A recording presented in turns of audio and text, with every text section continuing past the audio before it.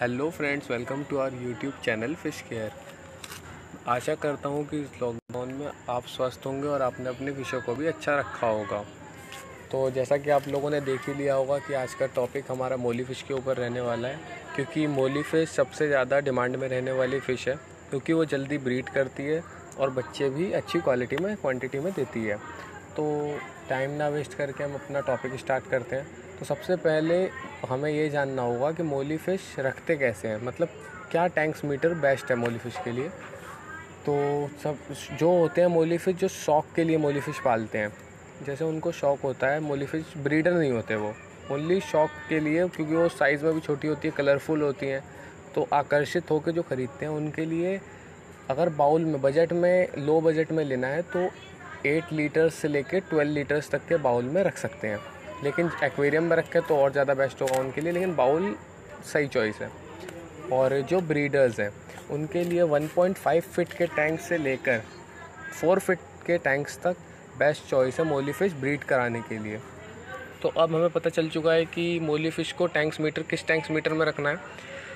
तो अब हम जानते हैं कि मोली फ़िश को ब्रीड कराने से पहले कौन कैसे पेयर बनाएँगे, या दो फीमेल तीन मेल कैसा पेयर बनाना होगा। तो ब्रीडर्स जो हैं उनके लिए तो मैं बता दूँ ती, तीन फीमेल एक मेल बेस्ट है। मतलब तीन फीमेल के साथ एक मेल ये नहीं कि तीन फीमेल एक मेल ही रखना है। जिसे ज़्यादा क्वालिटी में रखनी है तीन मेल के साथ एक फीमेल तीन फीमेल के साथ एक मेल रख सकते हैं। और जिन्हें शौक़ है वो अगर चाहते हैं कि बच्चे ना हो तो सारी फीमेल या सारे मेल कॉमन सेंस से रख सकते हैं। तो हम बात करते हैं कि अगर बच्चे होते हैं जो शौक़ वाले हैं और जो विदाउट ब्रीडर्स हैं उनके लिए भी, बच्चे होते हैं तो आप पहली बारी मतलब फ़िश पाल रहे हो या फिर कुछ नॉलेज तो होती है तो हमें क्या करना है, उन बच्चों को उस मेन टैंक से अलग निकाल के दूसरे टैंक में रख देना है। क्योंकि मोली फ़िश बहुत तेज़ी से अपने बच्चों को मतलब जिस तेज़ी से वो बच्चे देती है, उस तेज़ी से ही दूसरी फ़िशेज़ उन बच्चों को खा लेती हैं। इसीलिए उन्हें हमें अलग रखना है। तो अब हमें पता चल चुका है बच्चे कैसे देती हैं फ़िशेज़ मतलब कैसे पेयर बनाने हैं, कैसे फ़िशेज़ देती हैं। तो अब हम जानते हैं कि उन बच्चों को और फ़िशेज़ के लिए कौन सा बेस्ट फ़ूड होगा। तो सब फ़िशेज़ के लिए बेस्ट फ़ूड तो ऑप्टिमम का ही होता है, लेकिन ऑप्टिमम का फ़ूड सही है फ़िशेज़ के लिए। लेकिन बच्चों को ऑप्टिमम का फ़ूड कैसे दें? तो बच्चों को पीस के देंगे हम ऑप्टिमम का फ़ूड ऑप्टिमम के फ़ूड से फ़िश हेल्दी और एक्टिव भी रहती हैं और वो पानी गंदा भी नहीं करता। तो हम बच्चों को ऑप्टिमम का ही देंगे फ़ूड ऑप्टिमम बेस्ट चॉइस है। लो कॉस्ट में। तो ऑप्टिमम पानी भी गंदा नहीं करता।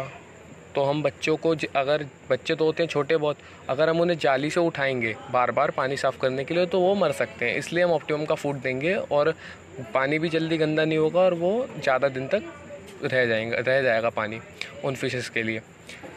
तो अब हम बात करते हैं मोली फ़िश की मेडिसिन। जैसे भी आप शौक वाले जो होते हैं, जिन्हें शौक़ होता है फ़िश पालने का, और जो ब्रीडर्स होते हैं, वो लोग जाते हैं फ़िश ख़रीदने अपना एक्वेरियम लेने। तो सबसे पहले एक्वेरियम जो जो पेट वा मार्क पेट वाला होता है, शॉप वाला होता है, वो सबसे पहले ब्लू कलर की मेडिसिन देता है। तो वो मेडिसिन बिल्कुल भी नहीं लेनी है फ़िशेज़ के लिए, क्योंकि वो कुछ लोग होते हैं कि कलर के लिए डालते हैं, लेकिन वो मेडिसिन एक्चुअली में उसका नाम है एंटी इंच। तो वो जैसे मछली को खुजली वगैरह होती है, इंच होती है तो उसके लिए डाली जाती है। जब आपकी मछली बीमारी नहीं है तो आप डालोगे क्यों? वो मैं चारी जितनी भी ये मेडिसिन है चार पाँच उनके बारे में मैं अगली वीडियो में बताऊँगा। ये फ़िलहाल आपको जानना है कि कौन से मेडिसिन डालनी है। तो आप फ्रेश वाटर डालते हो, चाहे टंकी का पानी या मीठा पानी अपने एक्वेरियम में यूज़ करते हो, उसमें क्लोरीन की मात्रा ज़्यादा होती है। तो इसके लिए क्लोरीन की मात्रा हटाने के लिए हमें एंटी क्लोरीन चाहिए होती है, शुरू में। तो वही मेडिसिन चलती है। वो मेडिसिन आप अपने टैंक के हिसाब से डाल सकते हो। अगर आपको नॉलेज नहीं है तो आप मुझे कमेंट करके पूछ लेना कि टैंक कौन आपका टैंक का साइज़ बताना। मैं आपको बता दूँगा कि कौन से साइज़ में है। बनानी, डालनी है वो। किस क्वालिटी क्वान्टिटी में डालनी है। तो अब आपको ये पता चल चुका है तो अब मोली के बच्चे आपके एक महीने बाद आप, उनके मदर और फादर के पास अपने डाल सकते हो। मतलब मेन टैंक में उन्हें डाल सकते हो। तो आज का टॉपिक यहीं ख़त्म करते हैं हम, क्योंकि मोली फ़िश के बारे में सारी डिटेल्स मेरे हिसाब से तो कंप्लीट हो गई हैं, क्योंकि खाना और उनकी मेडिसिन और ब्रीड बस यही चार पाँच चीज़ होती है। मोली फ़िश ज़्यादा केयर वाली नहीं होती है। तो ये दो चार ही टॉपिक थे जो मेन थे। बाकी अगर आपको लगता है कि टॉपिक कम थे तो आप कमेंट करके बताइए कौन से टॉपिक थे। मैं इसके ऊपर भी नई वीडियो बना दूँगा। तो ये मेरी पहली वीडियो थी। अगर कोई मिस्टेक वगैरह हुई हो तो आप मुझे कमेंट करके बता दीजिएगा कि किस तरह की मतलब कौन सी मिस्टेक हुई है तो मैंने अपनी दूसरी वीडियो में उसे सुधार दूँगा। और अगर आपको फ़िश केयर के ऊपर और भी जानकारी चाहिए तो मेरे पास मेरा एक फ़िश ग्रुप है फ़िश के लिए ग्रुप है फ़िश केयर का फेसबुक पे। तो मैं उसका भी लिंक आपको डिस्क्रिप्शन में दे दूँगा।